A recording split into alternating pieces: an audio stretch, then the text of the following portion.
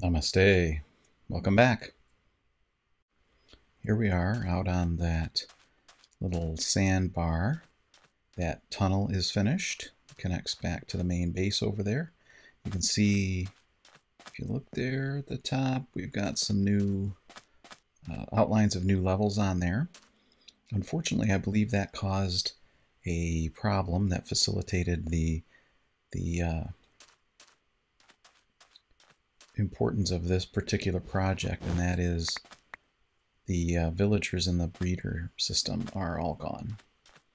And I expect that is due to a baby zombie spawning on that structure and getting into the villager on the top with the six doors and also the the uh, little farm, the breeder area itself. So here's the tunnel. All those guys are gone. I was left with just one villager, one li uh, librarian. My, um, let's see, which enchantment did he have? A sharpness 4 book trade librarian who was tucked safely away. And uh, so what we're going to build out on this land is a safe place to keep the villagers. And I also thought, you know, I may as well put the villager breeder in there as well. I originally planned it to not to house the villager breeder, uh, but just the villager uh, villagers themselves. So it'd be basically be a villager exchange, a place to go to trade with villagers. Uh, but it could easily accommodate the uh, villager trade as well. So that's what we're going to do. And uh, that means that uh, while the building was designed to house eight villagers, it's only going to house seven or more. I suppose I could fit more in depending on what happens with those upper levels. Um, so yeah, that's the plan. So I'm just going to lay this out. Now that, of course, brings up the issue of impermanence. Hmm, let's see, I got an extra block there. So more than one extra block. There should be a hole there and there and there. Yeah, so the plan is I'll just move villagers in here. Yeah, this didn't go out far enough. It looked like that was a little small. Yeah, we needed to get rid of you anyway. That's a nice way to pick the cactus too, is just place a block next. They need air blocks on all the adjacent spaces. Okay, so villagers will tuck into these little corners, these little nooks, and also these corners. So that would make space for eight. Uh, but in order to, tr to, transport them, we actually need to be able to uh, get in and out of here. And so I thought using a little water lift and a rail system, well, at least initially, after we do that, we don't really need this. So we could close it off and house that eighth villager. So I guess it's okay there. So yeah, the whole idea of impermanence is a, a Buddhist concept. If if uh, not other religions as well. I'm just familiar with it from the Buddhist standpoint. So that idea is that uh, everything is impermanent, nothing lasts forever. And so getting bent out of shape when things inevitably go away, like they will, is pointless. So that helped me to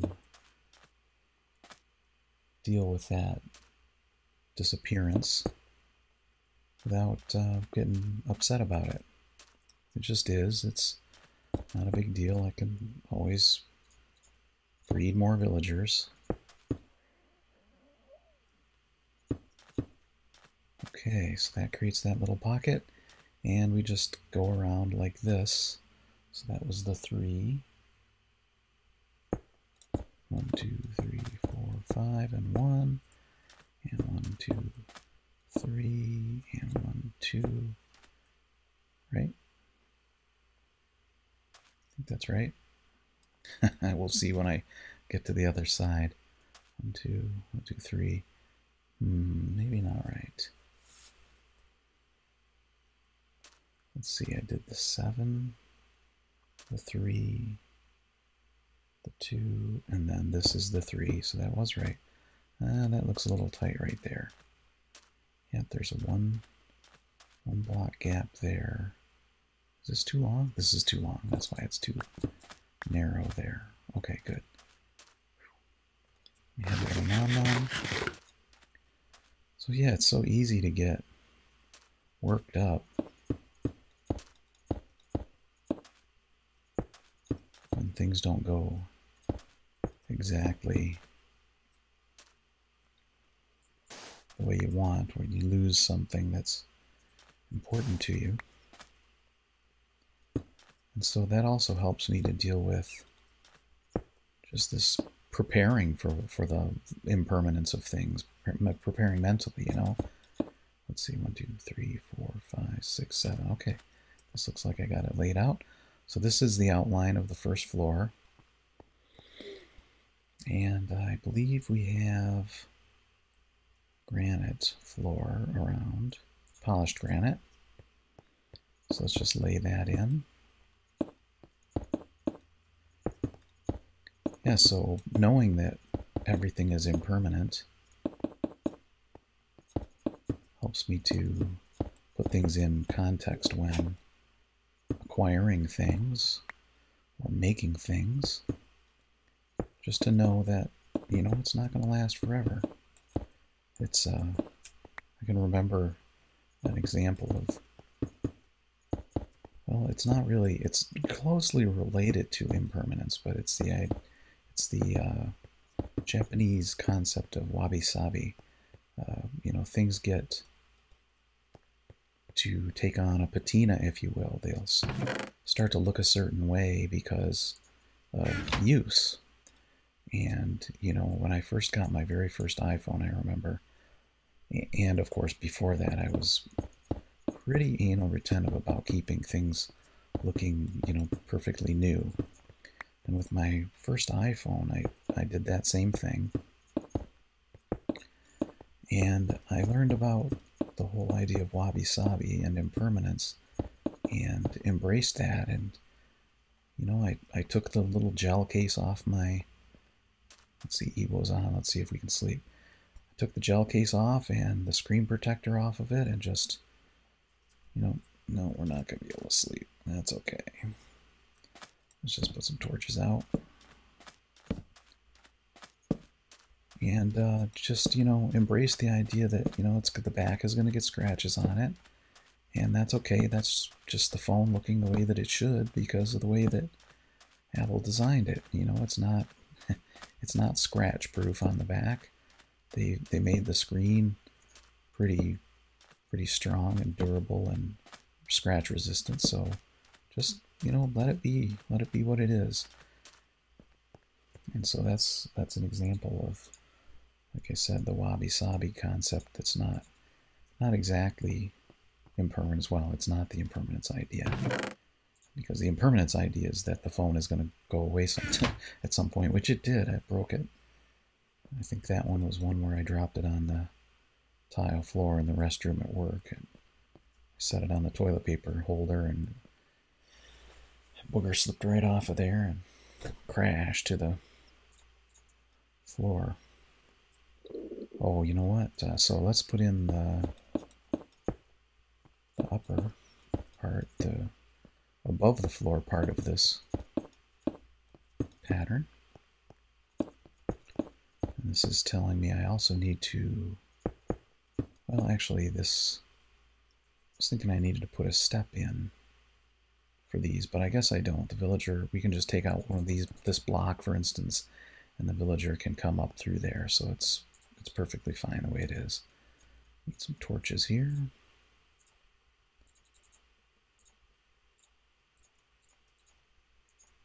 So yeah, the impermanence thing can even help with loss of loved ones, you know, because impermanence extends to people too. You know, everyone is going to be gone someday from this planet and this existence, whatever you think happens after, regard, it's regardless of that. You know, everyone's going to go. And, you know, so you can use that knowledge to change the way that you deal with people. You can appreciate them. Oh, that can't go there because we need a uh, these brown blocks to go there because we're going to tuck a villager in this corner here. That means we need a post to put the uh, gate against. And so we're going to use jungle wood on this build.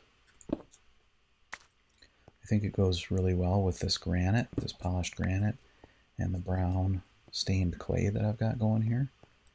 I'm going to grab some of this sand, to fill in that hole. Oh, you know what? Let's get rid of this carrot while we're at it. Don't need to be carrying that around. Oh, oh that's sandstone. Don't want to waste that. I'm going to need that for the landscaping. Yeah, I haven't gotten around to landscaping on the base yet. Oh, Ewo's leaving. Bye. Okay, so yeah.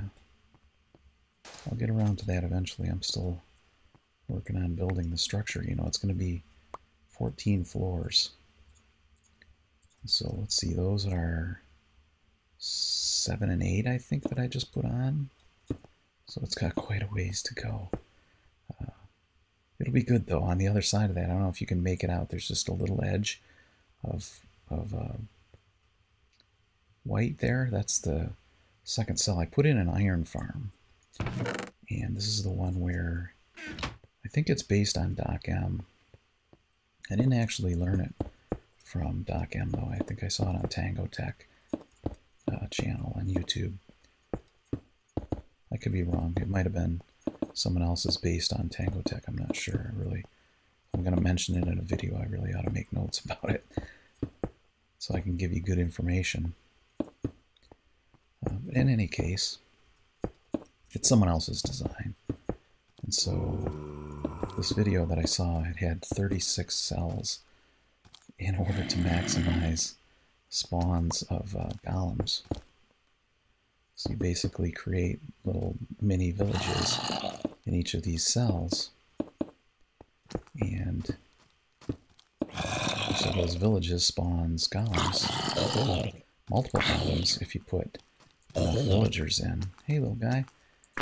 And uh, yeah, the multiple villagers thing was not something I learned from the video. That's something one of the other Bare Roots members, Zog, clued me into, and that is I increase the number of villagers from 10 to, say, double it, which is what I did, then you'll get even more golems spawning per village. So that is exactly what I did. Look at all these guys. There's a villager waiting to happen. I don't have time to deal with you right now, though. Well, looks like we missed one here.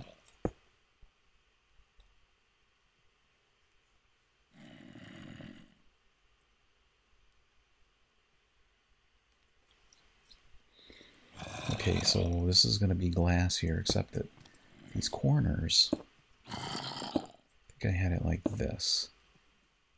And this. I think this is right.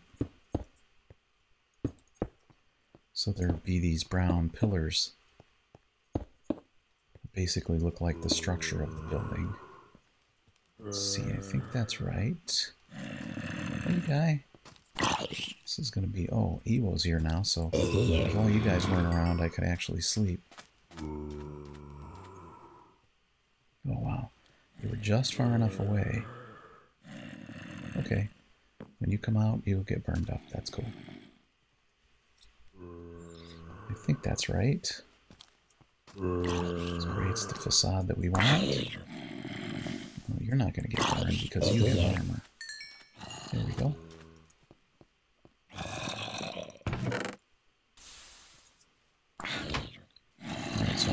Lay out this rest of this first floor. And I will come back to you after that. And there we go. It's finished. Yeah, it's been a while. I was actually had a cold recently. She may still be able to hear my voice. So I did a lot of work off camera and here and other places. So let's have an update on this. I got the landscaping done most recently.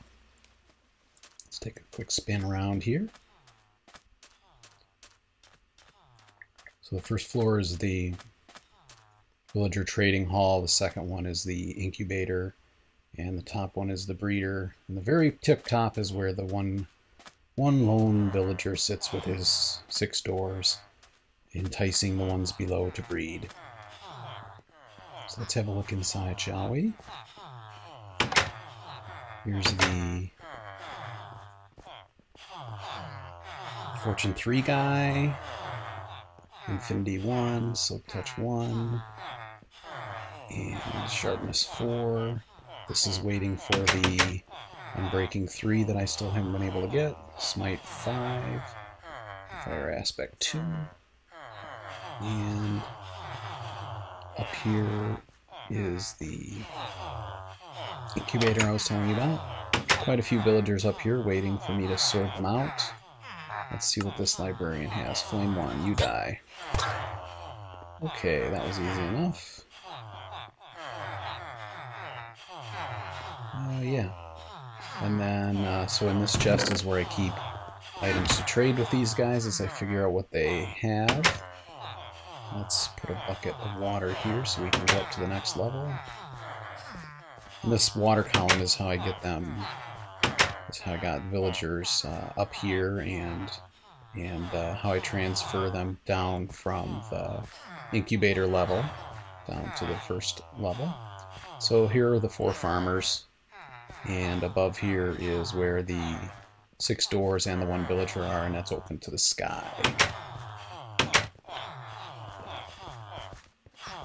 So it works pretty well. The trouble is that it's a tad small.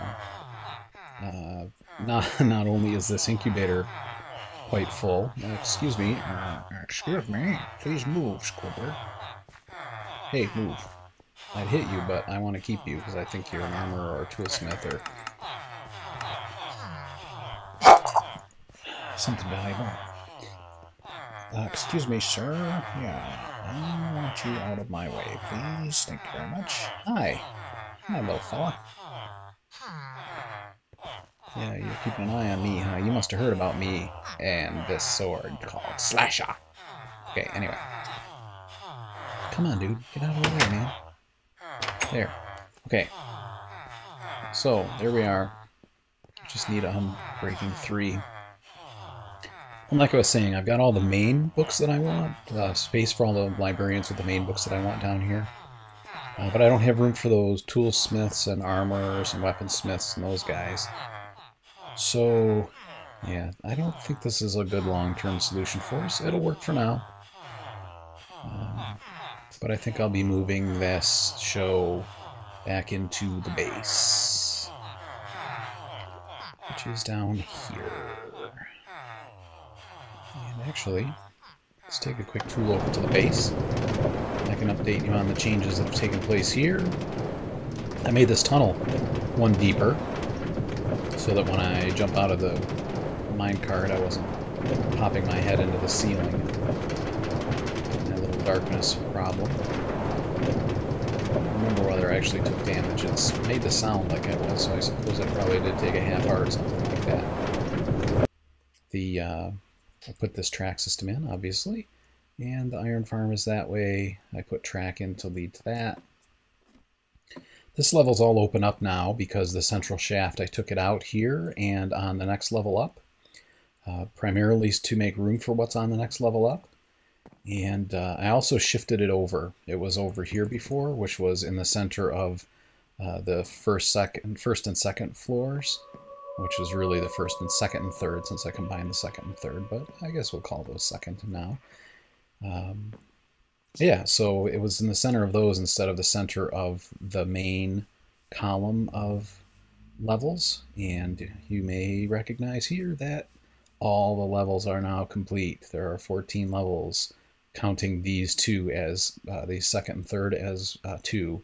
They're actually combined as far as internal space, so it's uh, could be called one floor. But as originally conceived, this is 14 floors are all there. Let's go up on this hill so you can get a little bit better look at the sky, and let's hope no creepers come out to visit. So yeah, there you go. Pretty nice. All done. And uh, the central column now goes up through the center of those, and it actually starts at that level, what we'll call now the third level, where the livestock are currently. And I put these water columns back in, or let them come back through these levels. So they're the primary mechanism for going up to the next level. And on this level is a new furnace array. You can see the redstone there and here peeking through. Uh, really cool system that I think was originally based on Tango, Tango Tek, or maybe it was Mumbo Jumbo. I think it was Tango Tek though. Um, and then this uh, Russian gentleman, I believe he's Russian, uh, improved it, and so I built his. I watched his video, which was all in uh, not in English, so I had to watch carefully and uh, construct it, just uh, following step by step along. I'll put a link to that in the description. So yeah, it's cool. You put your fuel in one, you put your items to smelt in the other, and the smelted items come out in the center chest. Uh, this light turns on as and stays on as long as there's fuel in the system.